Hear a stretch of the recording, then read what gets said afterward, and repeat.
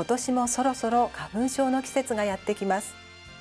早いところでは2月上旬から花粉が飛び始めるようです。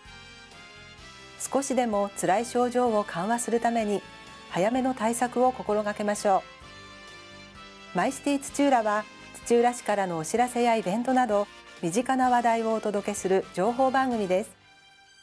それでははじめにフラッシュニュースからご覧ください。今週は昨年11月にオープンした私立図書館が来館者10万人を達成した話題からお送りします。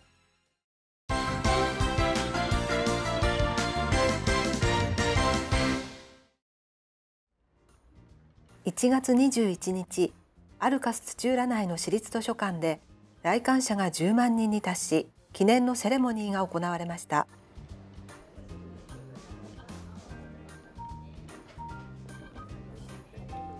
10万人目となったのは市内に住む小学1年生の板葉美穂さん。美穂さんはお父さんと一緒に図書館を訪れて記念の10万人目となりました。入沢博子館長から土丸のぬいぐるみなどの記念品をもらうと10万人目と言われてびっくりしたなどと笑顔で答えていました。明るくてあの来やすいすごく居心地のいい場所になりました。すごくいいと思ってます。10万人目ってすごい記念だと思うんだけどどうですか？気持ちは。嬉しい。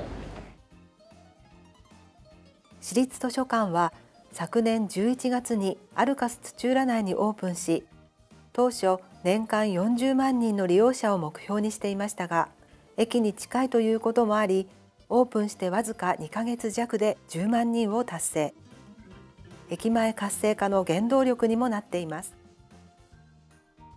非常に嬉しいです。こんなにたくさんの方にお越しいただきましてまさかこんなに早く10万人を達成できる日が来るとは思ってなかったので本当に嬉しいです。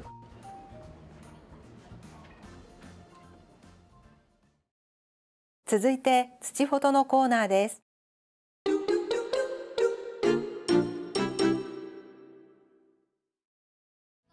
すっかりおなじみとなった土浦市のイメージキャラクター土丸。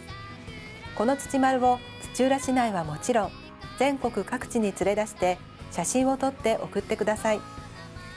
土丸オフィシャルフェイスブックに掲載したり番組でも紹介したりします。今回の写真はこちら。863からの土フォトです。今回はエジプトのギザで撮影したそうです。スフィンクスとというコメントをいただきました。863投稿ありがとうございます。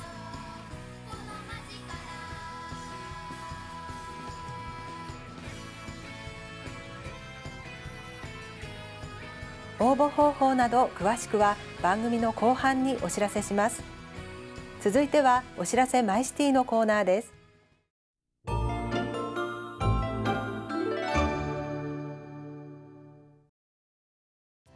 今週は旗織作品展土浦商工会議所女性創業講座観光ボランティアガイド入門講座平成30年度消費生活モニター募集のお知らせです。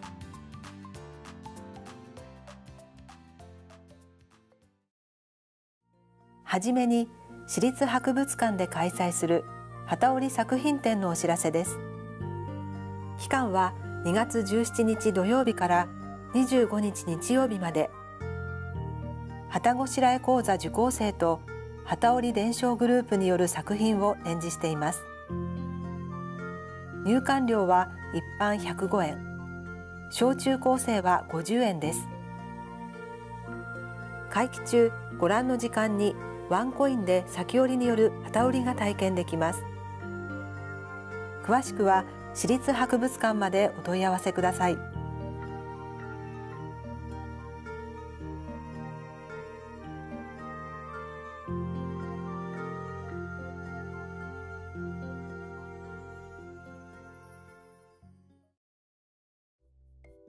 次は企業を検討している企業に興味がある女性を対象とした土浦商工会議所女性総合講座のお知らせです。日時は2月17日と24日の土曜日。午前10時から午後3時までの全2回。内容は企業に必要なものといろいろな企業スタイルを学ぼう。他です。定員は先着10人です。お申し込みお問い合わせは土浦商工会議所までお願いします。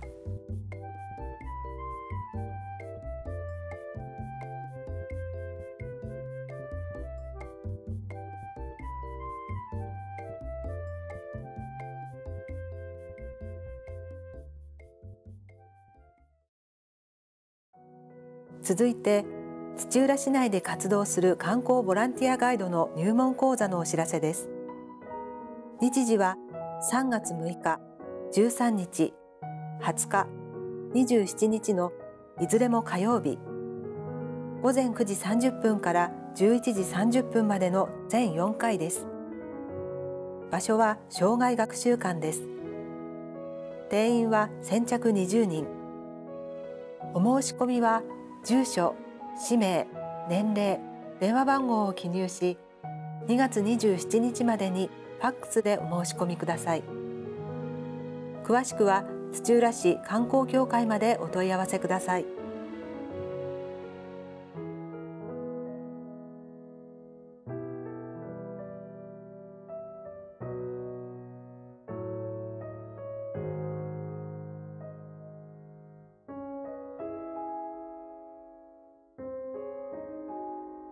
最後は平成30年度消費生活モニター募集のお知らせです。応募資格は市内に居住する20歳以上の方です。任期は平成30年4月から平成31年3月まで。募集人数は15人です。お申し込みは郵便はがきに志望動機住所氏名モニター経験の有無などを記入し3月16日金曜日必着でお申し込みください。応募はがきの記載内容を参考に選考し3月下旬に通知します。詳しくは消費生活センターまでお問い合わせください。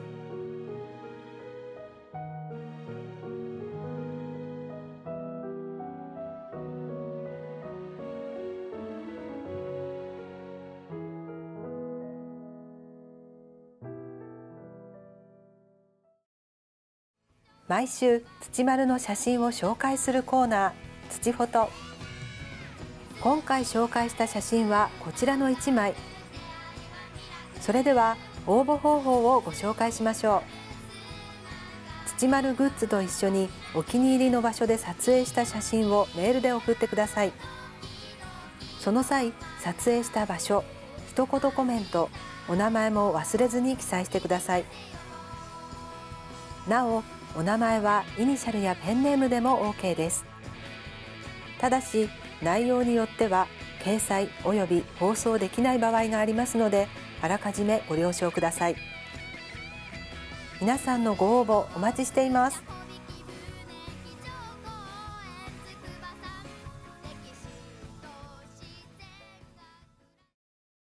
続いては土丸を探せです。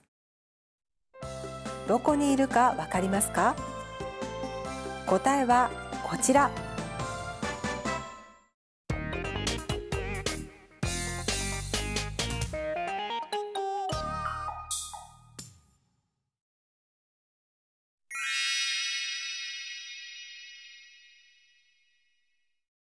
次はウォッチング土浦です。今週は県内で最も歴史のある美術展覧会。第70回土浦市美術展覧会の模様をお送りします。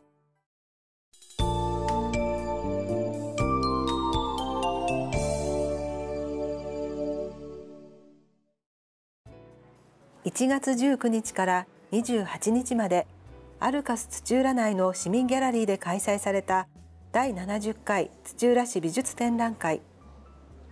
土浦支店の呼び名で親しまれているこの美術展覧会は昭和22年から開催している県内で最も歴史のある市民公募型の美術展覧会です。70回目となる今回は日本画洋画彫刻美術工芸書写真デザインの7部門で構成され会場には合わせて374点もの力作が飾られました。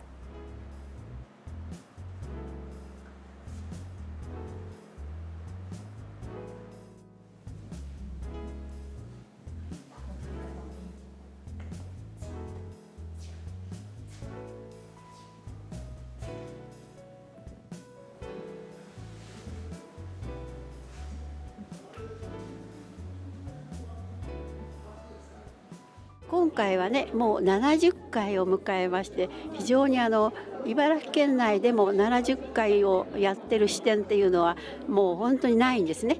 長い伝統と歴史の中で私たちは出させていただいております。土浦はあの文化の街ですからこの文化芸術が発展していくのが一番の望みですね。皆さんがそれぞれの部門で頑張ってあのいい作品を発表すればやっぱり土浦の文化っていうのも上がっていくんじゃないかなっていうふうに思っております。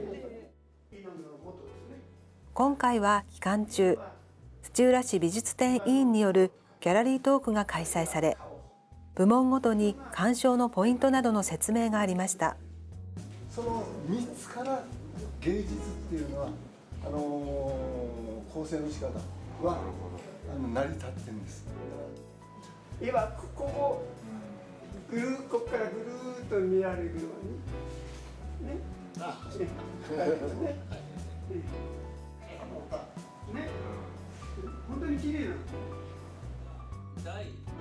また1月21日には出展者の表彰式が行われ今回は奨励賞など25人が受賞しました。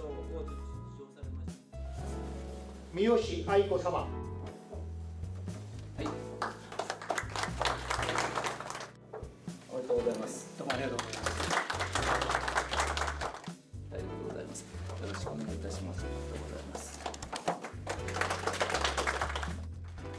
今回の最高齢受賞者は101歳の方です。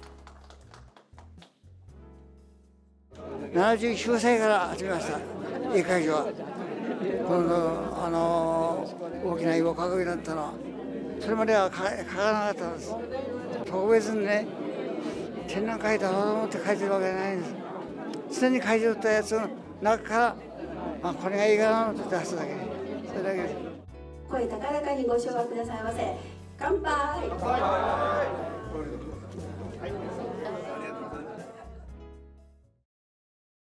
マイシティ土浦では暮らしやお出かけに役立つ情報を皆さんにお伝えしていきますのでこれからもぜひご覧ください。今週は市民アナウンサー萩原がお送りしました。